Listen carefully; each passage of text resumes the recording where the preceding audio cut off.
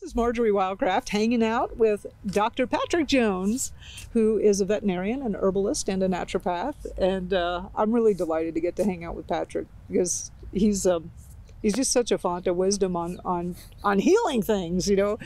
And uh, he's so much fun. And I'm, I'm here at his uh, at his clinic in his house, and we're actually right here. We're filming in his garden. And uh, what's astonishing is everything that that's growing around us is the medicines that he uses in his clinic. Yeah. They're pretty amazing. So, um, you know, really, like, when was the last time you went to a doctor that grew his own medicine? Right? And he went out into the yard and came back with a bucket full of weeds. Right? really, doc? Yeah. yeah. I got something for that. But Patrick, a lot of people are asking, and they're like, you know, vitamin C is is is uh, almost this this this cure all for a lot of things. Yeah, yeah. And and it really is. It's you It know, really I've. I've definitely knocked a lot of things out with with vitamin C, and especially proactively in the like the holidays and stuff. Do you have any favorite herbs or favorite plants to grow that are that you feel are, are really good for for boosting people, especially in that in that direction? Yeah, so you know, probably the most common one, the one I use most of all in formulas, and is and, and something just as a as a veterinarian, a little tidbit for you, is that um, primates Okay. and guinea pigs are the only mammals that don't make their own vitamin C.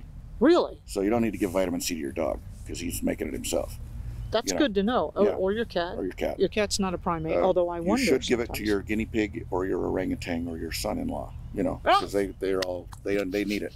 Yeah. But uh, yeah, so uh, of course some of those son-in-laws are orangutans, you know, and that's that's they a kinda- different they that's a different conversation. But That is. I've got nine daughters. Seems But to anyway. the voice of experience right here. no, they were uh, they all married well. We're good. But uh, yeah, so vitamin C, um, rose hips are a great a great source, Nice. uh, and Yeah. they're easy to access, and you know They, they do grow pretty much, but you don't eat the seeds. You no, just eat yeah. So the rose hip, uh, after the flower, Mhm. it makes the little fruit. you know the the base of the flower swells and it makes the fruit which is the hip and after the first frost is when you harvest those and uh, they're red and sort of like a you know fruit leathery kind of consistency Mhm. you slice them open and they have little seeds in them and little hairs which is the real problem because the hairs can be irritating Okay. but if you scrape those out you can eat them just like fruit leather Mhm. or you can dry them and and you know when we do them we just take the whole rose hip and dry them and and grind them in a you know we've got big vitamix blenders that we do all our grinding in and then you don't have to worry about seeds or hairs and that doesn't matter it all just gets uh, All- powdered Mixed up together. uh, but uh, that's a very good source of vitamin c pine needles are a good source of vitamin c How, how much for like a ro- well, like one rose hip? You feel that would be a good dose? Is that the classic? Um, you know, we're going to do a teaspoon or something. well you know vitamin c is is not something you can really overdose i mean you can take a lot of vitamin c and it's all better you that's know that's true. Uh, and you know, Linus Pauling did a lot of writing on that. Uh, but uh, they should have given him his Nobel Prize for the vitamin C stuff and not the physics stuff. Although the physics stuff was great. But, uh, yeah, after after that, he did a lot of vitamin C work. But um, yeah, I mean, I, I would take, you know, a couple of rounded spoonfuls of that for to get a lot of vitamin C. You know, why why cheat yourself? um, but the other cool thing about it is it's available when a lot of other things aren't. I mean, there's a lot of you know anything. A lot of green plants have a lot of vitamin C in them, and that's great. Oh, go back to pine needles because there's that needles, there's yeah. that great there's that great story of the homesteader who died of scurvy and they buried him under the pine tree. Yeah, yeah, yeah exactly. There you go. yeah. Exactly. Uh, pine needles are a tremendous source of vitamin Just C. chew the raw ones. Yeah, or make a little tea, and you don't want to. You know, vitamin C is not super heat stable, so you don't want to make a hot tea. But you know, and I don't ever make. I don't ever boil herbs anyway. I I bring the water to a boil, turn it off, get it off the heat, and then throw the herbs in. You know, that's how I always do it. But uh, um, you know, I wish I did that. I have to confess, I'm like I'm trying to get it all. I like put it in there, and then I get on the computer. And Yeah. it's, it's boiling, it's frothing over, and I'm like, oh gosh, I Shoot, wish I hadn't done that. You know, yeah, I'm Well, going. there- maybe when I become a real herbalist. yeah. There you go. well, you got pine- the shirt. You're okay. Oh, yeah, no, I got, I got the street team T-shirt. Yeah, I'm, I'm, I'm moving that.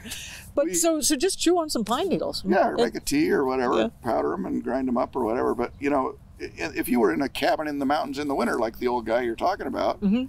And your teeth start falling out because you got scurvy, you got an enormously uh, potent source of vitamin C. There's more vitamin C in pine needles than there is in citrus. you know, pound for pound. It's a good source of vitamin C, and it's available all winter. Yeah. You know, and the rose hips are available all winter, so it's they're important sources from that standpoint too. All right. But you know, herbs in general are, you know, one of the real problems that we have in in the modern world is is malnutrition, and our bellies are full, but we're not getting any food. Yeah. You know, no We're- nutrients. Yeah. And you know these big farms, and you know I got, you know, God bless the farmers. You got to love them, and they're just they're just doing what we're paying to do them, paying them to do. You know, but uh, I, I was watching a a movie about something or other, and at the end of the show, the guy says, "Well, grow whatever you want. You know, if you want cheap high fructose corn syrup, guess what? That's what we're Well, going to that's grow. what we're getting for you. Yeah. we'll right. grow you Brussels sprouts if you pay for them. You know, but uh, Yeah. but, you that's know, true. You they're vote only with your putting- dollar. Yeah. three minerals on that dirt, Yes. and they're farming that dirt for 100 years, and three minerals go on, and that's it. And uh, you got to kind of start to wonder if stuff isn't getting depleted. There's no, you know, in nature, if you go out into the woods, everything dies and falls off and goes back into the dirt, and you have that natural compost, that natural recycling of minerals and nutrients, uh, and the herbs are getting that. So sometimes, uh, I think that, especially the deep-rooted stuff, you know, the comfrey, the burdock, the yellow dock, you know, red clover, those guys, alfalfa, you know, uh, are tremendous sources of micronutrients that are really hard for us to find. And uh, I think that I think it's really important to get that stuff into our diet. You know, Yeah.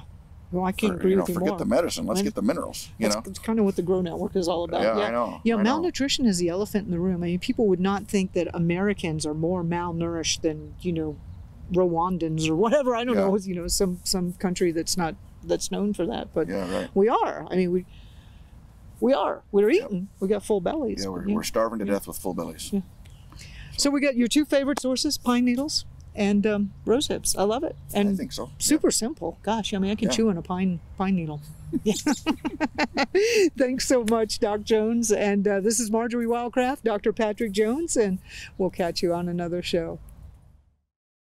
The Grow Network is a movement of people who are stopping the destruction of the earth via homegrown food.